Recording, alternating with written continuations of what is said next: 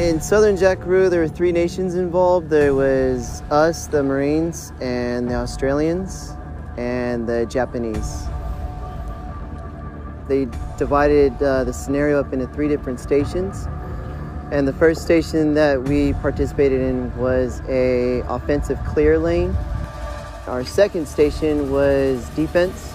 We send out these security patrols to prevent our line of defense from being probed by the enemy.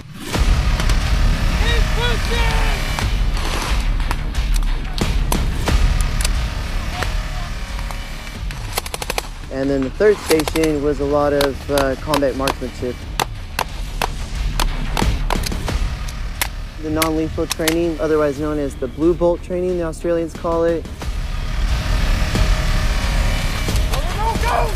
We received notification that uh, an IED had gone off.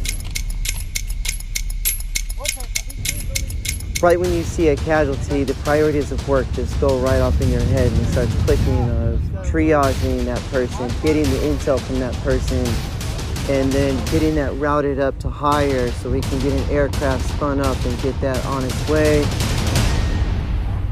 That aircraft picked up one of the casualties and ended up escorting them all across the northeast of the country and landed in Darwin.